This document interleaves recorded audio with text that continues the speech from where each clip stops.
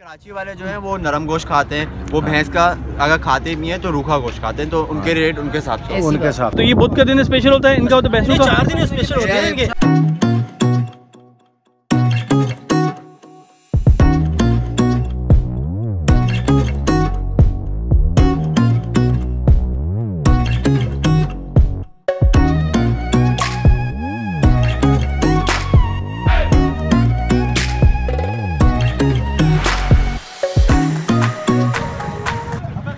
सर्दियों में जानवरों के रेट, भैंस कॉलोनी लेटेस्ट अपडेट अस्सलाम वालेकुम back to animal point P के ऑफिशियल आज मैं मौजूद हूँ भैंस कॉलोनी में और आज मैं आपको इंशाल्लाह कवर अप करूँगा मैं भैंसों को, कट्टों को।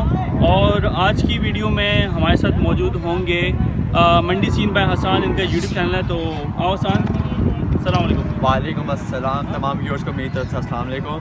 तो आज जैसे कि हमारे नुमान भाई ने बताया है कि हम अभी मौजूद हैं भैंस कॉलोनी की मंडी में। तो बस अभी चलते हैं, इंशाल्लाह आप लोगों को डेयरी के हवाले से भैंसें दिखाएँगे। यहाँ अच्छी खासी कलेक्शन है भैंसों की तो बगैर टाइम वेस्ट करें इन हम चलते हैं अच्छा मैं आपको तो ये बताता चलूँ, ये हसान का फेसबुक पेज भी है और ये इसने रिसेंटली ज्वाइन किए यूट्यूब को।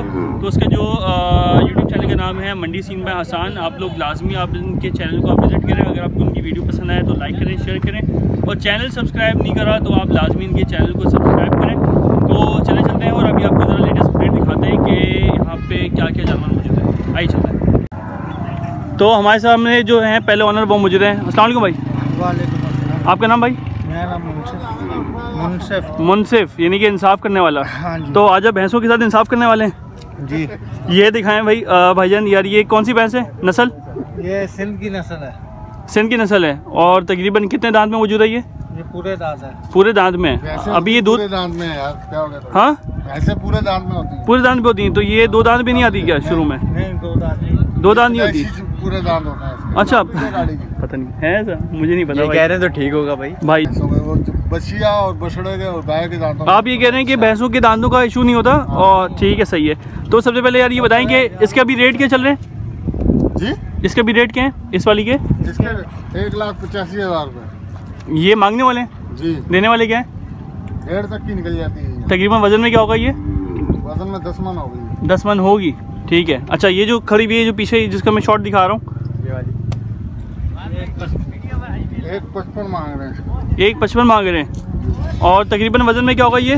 बीस वज़न में? वज़न में ये होगी इसके मांगने वाले क्या हैं? पचपन हज़ार। देने वाले क्या हैं? एक बीस तक की चली एक बीस तक की चली जाएगी सही है। अच्छा ये बताएँ कि ये आप लोग ये जो दूध जो निकाल रहे हैं ये किस वजह से निकाल के मतलब कि क्या कर रहे हैं अभी आप इसको? ये दूध निकाल के घर पे लेके जाएँगे बच्चे पियेंगे अच्छा ठीक है। कि जो कि जो खरीदने आएगा तो या उसको क्या मैं खाली दे रहे हैं क्या? हैं? कि जो खरीदने आएगा तो उसको क्या खाली दोगे क्या? खरीदने वाला दूध थोड़ी चलेगा इसका वो तो काटेगा इसको ले जाके मेले में। अच्छा। दौड़ दौड़ चल मेरा भाई साढ़े चार। अच्छा अच्छा अच्छा अच्छा ये सीन है। तो दोस्त यार शॉपर दिखाना यार ये वाला? होए होए होए। ये दूध मत गंदा हुआ है काफ़ी नीचे से ये। वो हट जाता है साफ़ हो जाता उबलेगा तो उछनेगा ना? चलो जी ठीक है। अच्छा नेक्स्ट हमारे साथ मौजूद है मोहम्मद खान साहब अस्सलाम तो ये मोहम्मद खान साहब की ये पहली भैंस ये सामने नज़र आ रही है। तो सर जी क्या इसकी डिमांड कर रहे हैं इसकी? इसकी डिमांड हम कर रहे हैं एक चालीस की। एक चालीस। अगर मैं साइड से दिखाऊँ तो ये आप देख सकते हैं। एक चालीस की डिमांड कर रहे हैं। और देने वाले क्या हैं सर इसके? एक पच्चीस। दांतों में पूरी है ना? ये सारी वही कटाई वाली है? कटाई वाली है। कटाई वाली है। ठीक है सही है। बेहतरीन है। अच्छा। ये इसकी अगर हम बात करें ये इसकी डिमांड क्या कर रहे हो आप? पैंतालीस एक पैंतालीस? वैसे मन के चल रहे हैं यहाँ पे भैंस का गोश्त अभी? ये मन का जो है है है बारह हज़ार बारह हज़ार। बारह हज़ार रुपये मन चल रहा है? माशाल्लाह ठीक है सही है। तो एक इसके कितने फाइनल है? पैंतीस में। जी जी। एक पैंतीस में ये आप इसको देने फाइनल कर रहे हैं। फाइनल कर दिया नेक्स्ट ऑनवर्ड ये वाली कौन सी है? ये ये एक पैंतीस में है इधर वाली है। ये फाइनल है? हाँ जी नहीं नहीं ये एक बीस में फाइनल है। एक बीस में फाइनल है? वज़न कम है थोड़ा सा इसका वज़न कम है। अच्छा इसका वज़न क्या है? ये इसका हो जाएगा दस मन। इसका दस मन है? ज़्यादा ये दस मन से ज़्यादा ज़िंदा की बात कर रहे हैं ना? हाँ हाँ अच्छा दूसरी वाली ये वाली? हो ग्यारह बारह मन हो ठीक है तो वो थोड़ा सा वो वो हैवी है। हाँ अच्छा ये थोड़ी सी हल्की है तो ये तकरीबन वज़न में क्या है? दस मन। तक है। हाँ अच्छा इसका भी दूध निकल रहा है यही वजह कि अच्छा ये सब अभी बिक गई हैं या ये बिकने? ये अभी बिकेंगी। अच्छा। इनका दूध दो रहे हैं ना अभी। हम्म। तो अभी ये आएँगे इंशाल्लाह ग्राहक ग्राहक लगेंगे। अच्छा गाहक लगेंगे। अच्छा गाहक यहाँ पे तकरीबन कब तक आते हैं? कुछ आइडिया है? चलता है तकरीबन एक बजे तक। एक बजे तक अच्छा गाहक आते हैं और ये बिक रहा होता है। हाँ ठीक है, सही है। है ठीक है सही है। अच्छा ये मैं आपको दिखाऊँ ज़रा ये किस स्टाइल में खड़ी हुई है? टांगे बाँध कर और ये आप देखें ज़रा। अच्छा तो ये तकरीबन वज़न में क्या है? मेरे भी साथ ये मिस्टर जावेद माँगता है ये भी लिखे बीच में। कांग चाचा कांग है। अब कंती अच्छा तो ये वज़न में क्या है? अब तेरे टांग हिलती भी है। इसका जो वज़न है ना इसका इसका वज़न होगा ग्यारह मन। ग्यारह मन है इसका वज़न अच्छा जी ठीक है सही। ग्यारह मन है हाँ और इसकी डिमांड और और देने वाले क्या हैं? ये डिमांड इसकी तो है एक पैंतालीस। हम्म। तो ये जाएगी एक पैंतीस में। एक पैंतीस में जाएगी। अच्छा जी। अच्छा ये बताएँ यार इसकी क्या मांग रहे हैं? ये इसका। एक पैंतीस। एक पैंतीस का मांग रहे हैं? मांग रहे हैं। अच्छा और तकरीबन देने वाले क्या हैं? एक। बीस है। एक पच्चीस में जाएगी। एक बीस और एक पच्चीस में जाएगी ये? तकरीबन अगर कोई इसके अस्सी लगाए सत्तर लगाए तो? नहीं देंगे। नहीं देंगे? नुकसान होगा ना अच्छा नुकसान में जा रहे हैं हाँ। ठीक है जी चलें। अच्छा पीछे वाली किसकी है? पीछे वाली भी आपकी है? हाँ जी, हाँ, वो मेरी है। जी सर जी इसकी डिमांड क्या है? एक पच्चीस। ठीक है और देने वाली क्या है? एक दस में जाएगी। एक दस में जाएगी? जी। तो तकरीबन के पंद्रह पंद्रह हज़ार रुपये का फ़र्क है डिमांड में और उसमें फाइनल में। हाँ जी हाँ जी क्योंकि वो हल्की भारी भैंस के हिसाब से है ना। अच्छा थोड़ा बहुत और इसमें मतलब की गुंजाइश हो जाती है? हो जाती है दो चार हज़ार की। दो चार हज़ार की अच्छा गुंजाइश हो जाती है। बाज़ार के हिसाब से होता तो- कभी घाटा कभी नफा। अच्छा मार्केट के हिसाब से होता है। अच्छा मैं अगर जरा पीछे दिखाऊँ तो तेज हो। तो इनका रेट ज़्यादा होता है। अच्छा आज आज वैसे इसकी मंडी वैसे कैसे चल रही है अभी इनकी? आज नॉर्मल रही है। नॉर्मल ना अच्छा था ना बुरा था दरमियाना था दरमियाना बाज़ार था अच्छा ठीक है जी। कितने बिके आपके जानवर अभी माशाल्लाह? मेरे बिके जानवर बिक गए हैं अभी तक नौ जानवर बिक गए हैं। हाँ? मैंने बारह बेची इन्होंने नौ बेची। बारह बजे और नौ बजे हाँ ओ माशाल्लाह माशाल्लाह। तो ये अभी मतलब कि बाकी बिकने का इम्कान है? अभी मतलब कि कस्टमर आ रहे हैं सही? अभी ये ये, ये आज वापस जाएँगे हाँ। में। बांधेंगे इनको हम्म। और कल लाएँगे इनको। अच्छा, अच्छा टाइम मंडी का खत्म मंडी का टाइम खत्म होगा डेढ़ बजे अजान के टाइम नमाज़ का टाइम होगा इसमें शुरू हो से। जाता है अभी इधर व्यापारी चले गए अब व्यापारी गए चले भी ये भाई अपने अपने भाड़ों में चली जाएँगे या आड़तों में चली जाएँगी वहाँ बन जाएगी पूरी रात बन जाएगी सुबह आएगी गुलगुल की फिर फिर बिकने शुरू हो जाएगी। अच्छा ठीक है सही है। तो ये बुध का दिन स्पेशल होता है? इनका तो है। का चार दिन स्पेशल होते हैं इनके। वो जुमेरा जुम्मा वीक में ना फोर डे और है। संडे और मंडे और ट्यूजडे ये छुट्टी होती है।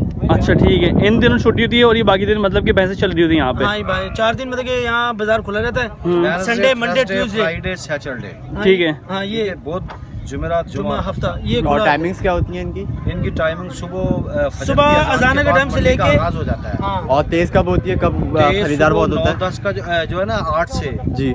आठ से दस बजे तक। इसका जो है ना वो तेज होता है। हाँ और आपके पैसों में नाइस जायज़ नाफे के साथ बिक जाती हैं बिक उस जाती रेट दो ढाई घंटे तीन जो होते हैं वो अहम होते हैं बड़े। अच्छा। कौन कौन से? उनमें अगर ये तो घंटे कौन सा होता है? आठ से लेके दस तक। अच्छा तो ये अहम घंटे अगर इसमें आपने बेच दिया सो बेच दिया वरना फिर आपको नहीं बिकेगा बाद में भी हाँ। लेकिन इसमें जरा रोजी अच्छी मिल जाती है। अच्छा सही है ठीक है। माल जल्दी से जाता है तेज़ी में जाता है। अच्छा ठीक है यानी कि छटाई जल्दी होती है। हाँ अभी आप कितना माल लाए थे आज? आज हमने लिया था तेरह तेरह माल लाए हाँ थे बिका चार नहीं बिके। नौ बिके चार नहीं बिके तो जैसा आपने बताया कि फिर कल उसको दोबारा लेकर आएँगे। हाँ जी हाँ जी वो तो अब जैसे अगर ये आपकी खरीदारी हुई भी खरीदी हुई है या आपने इनसे दूध लिया है? ये ये खरीदी पीछे से दूध मालिकों ने ले लिया वो बाड़े से जो मालिक होते हैं ना। इनका दूध होते हैं ठीक है?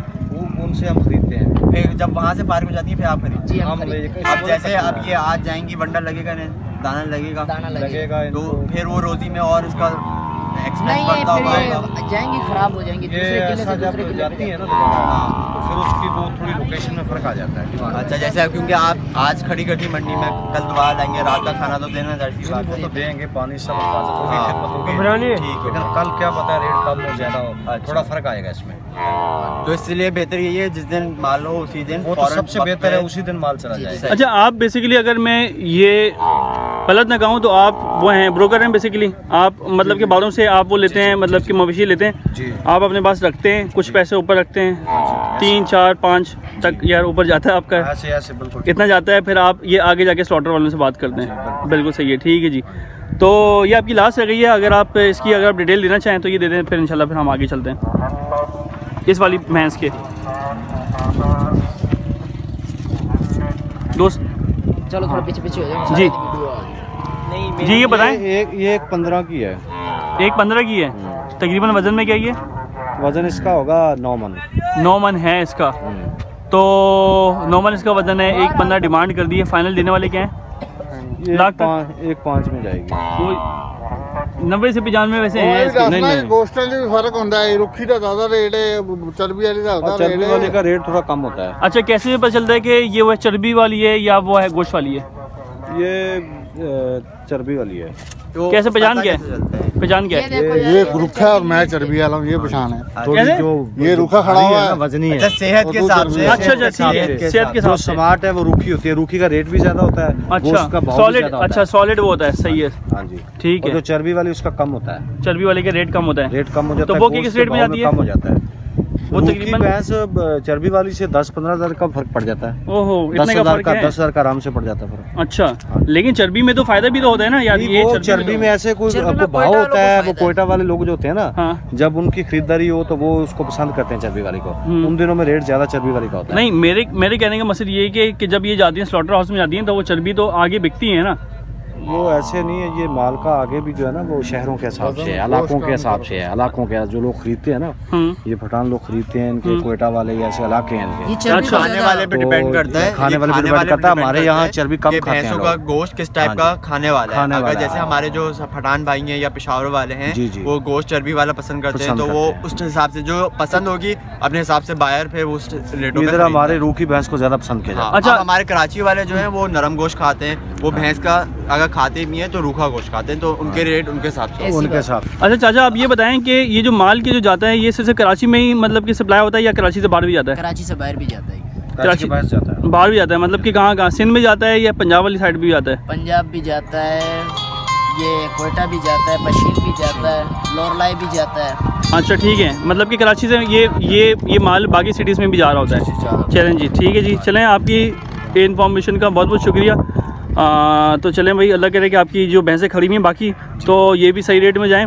तो इनशाला तो फिर दोबारा मुलाकात होती है ठीक है? थैंक यू मिलते हैं किसी नेक्स्ट वीडियो में किसी नेक्स्ट स्पॉट पे। तब तक के लिए मुझे और हसान को दीजिए इजाज़त। अस्सलाम अल्लाह। हाफिज़।